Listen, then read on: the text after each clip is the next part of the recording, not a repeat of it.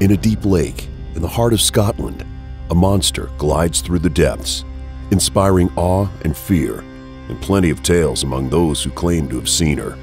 Accounts of a massive beast living in the large freshwater lake known as Loch Ness date back 1500 years, and yet despite incredible efforts to uncover it, the Loch Ness Monster remains elusive, part tall tale, part myth, and possibly an outright hoax.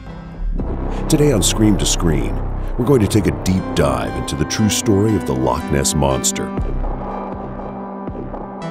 Before we do that, make sure you subscribe to Graveyard Shift and let us know in the comments which true life ghost stories you'd like us to cover in the future.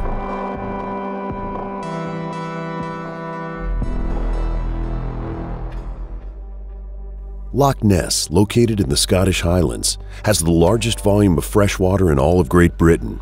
It reaches a depth of nearly 800 feet and has a length of about 23 miles. But is it big enough and deep enough to hide an enormous secret? Scholars of the Loch Ness Monster think so and have found a dozen references to Nessie, the affectionate nickname for the alleged creature, throughout Scottish history. The earliest of these dates back to around 500 AD, when local Picts, an ancient group of Celtic-speaking people, carved an image of a strange aquatic creature into standing stones near the shore of Loch Ness. The earliest written reference to a monster in Loch Ness is a 7th century biography of St. Columba, the Irish missionary who introduced Christianity to Scotland. In 565 AD, according to his biographer, St. Columba was on his way to visit the king of the northern Picts near Inverness when he stopped at Loch Ness to challenge a beast that had been slaying people in the lake.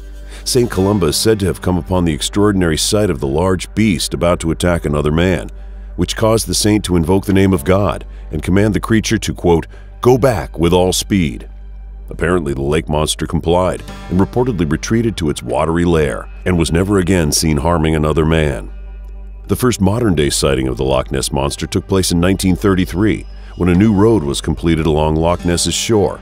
For the first time, this new path afforded drivers a clear view of the loch so it's not surprising that on May 2, 1933, the Inverness Courier reported that a local couple claimed to have seen, quote, an enormous animal rolling and plunging on the surface. The story of the Loch Ness Monster immediately became a media phenomenon, with London newspapers sending correspondents to Scotland and a circus offering a £20,000 reward for whomever was able to capture the beast alive. After that 1933 sighting, interest in the creature continued to grow. Soon, another couple claimed to have actually seen the beast on land while it crossed the shore road. London's Daily Mail hired big game hunter Marmaduke Wetherell to capture the beast. After a few days searching the loch, Wetherell reported finding footprints of a large four-legged animal. In response, the Daily Mail carried the dramatic headline, Monster of Loch Ness is not legend, but a fact. This prompted droves of tourists to descend on Loch Ness in hopes of seeing or even capturing the monster. These would-be hunters sat in boats or deck chairs on the shoreline of the loch, waiting for the now famous monster to appear. Plaster casts of the footprints found by the big game hunter Wetherell were sent to the British Natural History Museum. The museum did an analysis and reported that the tracks belonged to a hippopotamus, likely the stuffed foot of a hippo. Wetherell's hoax temporarily quashed the Loch Ness Monster craze, but it wasn't long before stories of news sightings rekindled public interest in the Loch Ness Monster. The following year, a photograph became perhaps the most famous evidence of Nessie's existence. The now iconic 1934 photograph seemed to show a dinosaur-like creature with a long, graceful neck emerging from the murky waters of Loch Ness.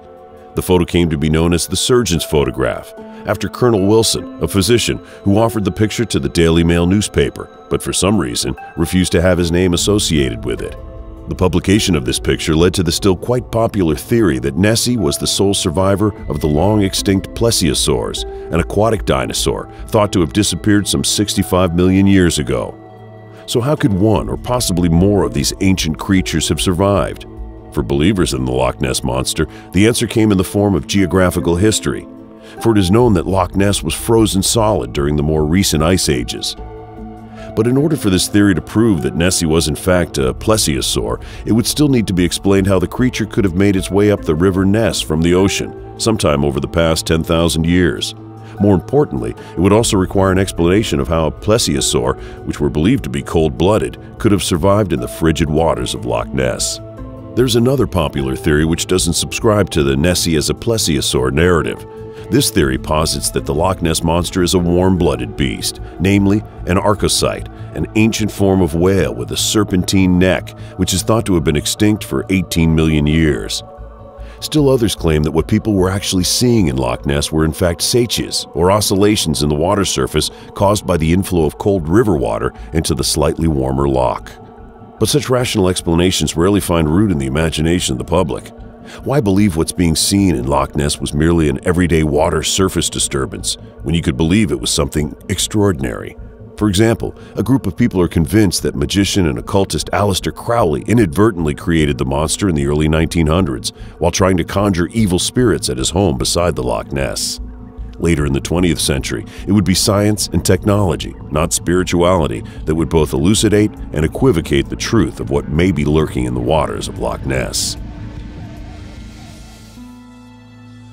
Advances in camera technology fueled self-avowed Nessie hunter Tim Dinsdale's quest to capture the creature on film as he went on 56 missions between the years of 1960 and 1987. But despite the advancements in film, the best evidence Dinsdale ever produced was in April 1960 and were hardly irrefutable proof of a monster. The brief piece of film made using a black and white 16mm camera showed a mysterious object in the waters of Loch Ness. What exactly is seen in that grainy footage depends, of course, on what you want to believe.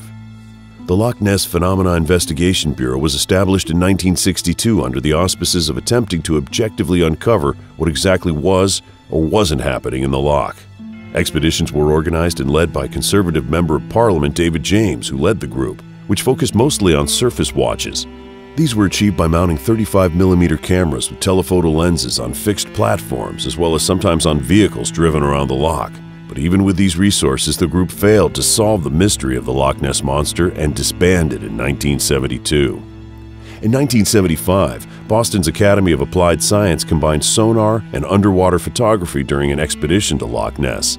The resulting photo, after some enhancement, appeared to show the giant flipper of a plesiosaur-like creature. But even with sonar expeditions in the 1980s and 1990s, which resulted in even more provocative findings, the answer to the Loch Ness question remained unanswered. Then in 1994, part of the legend of Nessie was answered. The iconic 1934 surgeon's photo of the beast, taken by physician Colonel Wilson, who remember never wanted credit for the photo, was now claimed to be a fake by one of his co conspirators in a deathbed confession. After the death of Maurice Chambers in 1994, some of his personal papers revealed that the photograph had been an elaborate hoax by him and a group of conspirators. Colonel Wilson was merely the group's face, as his role as a physician was thought to have lent the photo's veracity some credence when presented to the Daily Mail. But according to Chambers' deathbed confession, the photo had actually been taken by Marmaduke Wetherell, the same big game hunter hired by the Daily Mail the year previous to find the monster and who, after faking his own sighting, was publicly humiliated by his employer. He now allegedly hatched this entire elaborate plan to get his revenge on the newspaper. This revenge plot was corroborated by Chris Spurling, Marmaduke Wetherell's son-in-law. Spurling says he was the one who used a Woolworth's toy submarine with a sculpted wooden head attached to achieve the creature seen in that famous photo. But the fact that the famous photo is probably a fake hasn't hurt the legend of the Loch Ness Monster much, if at all. Part of this is because by the time the surgeon's photo was revealed to be a hoax, Nessie had already made a sizable impact on pop culture. In fact, Nessie's first shot of fame in 1933 is probably due to the pop culture impact of another, openly fictitious giant monster. The same year that the first modern Nessie sighting was reported was also the same year that the movie King Kong was released. One of the film's most memorable scenes involves a giant ape grappling with dinosaurs. King Kong was a worldwide phenomenon, and it's plausible that people at the time had dinosaurs on the brain and were looking for a way to manifest living prehistoric beasts any way they could. Nessie would later become the subject of, or at least mentioned in, a number of different films over the years. The first to deal with the creature was Secret of the Loch from 1934, only a year after the first modern sighting.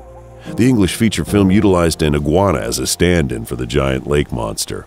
While the appearance of Nessie in that film might be unintentionally humorous, numerous subsequent cinematic depictions or references to the beast have been decidedly funny. For example, in the film The Private Life of Sherlock Holmes from 1970, the monster is revealed to be nothing more than a miniature submarine in disguise. Or in 1984's Ghostbusters, where the Loch Ness Monster is listed among the various things Janine asks Winston if he believes in, in order to determine if he's sane or not. One of Nessie's better outings in theaters was the 1996 Ted Danson vehicle simply titled Loch Ness. The creature's handled with surprising dignity and reverence in a story revolving around an American scientist, played by Danson, who's trying to debunk the existence of the creature. The film concludes with Danson's character disproving his own evidence when he comes to realize that the monster is best left alone to survive by itself. Likewise, perhaps the best depiction of the Loch Ness Monster remains the family film The Water Horse Legend of the Deep from 2007. Based on the novel by Dick King Smith, the film features a young boy discovering an egg that belongs to the legendary Celtic creature and then taking care of the infant lake monster that hatches. The movie even includes a scene that suggests that the now infamous surgeon's photo was not so much a hoax, but a staged reenactment of a genuine sighting. Ultimately, it isn't entirely surprising to see so much effort to preserve the possibility of Nessie's existence in fiction or in real life. Because if the perseverance of the legend of the Loch Ness Monster has taught us anything, it's that people want to believe. Cynically, one could point to the fact that the myth of the Loch Ness Monster draws millions of people to the region around the lake each year, which in turn brings an estimated 25 million pounds to the local economy. But perhaps it runs a bit deeper than that. Perhaps the Loch Ness Monster, real or imagined, is a testament to our need to believe that there's more to the world than what's on the surface, that deep down, below what can be seen, there remain secrets in this world, even when nearly every inch of it has been explored and nothing found to prove otherwise. So, what do you think? Is the Loch Ness Monster real? Could an elusive creature still exist in the deep waters of the Loch despite all the efforts to find it and prove its existence? Do any of the explanations make sense to you? Or does it all seem like a long running hoax? Let us know in the comments below if you have the courage. Like, share, and subscribe for more videos from the Graveyard Shift. And be sure to check back next time to find out what else we'll make it from Scream to Screen.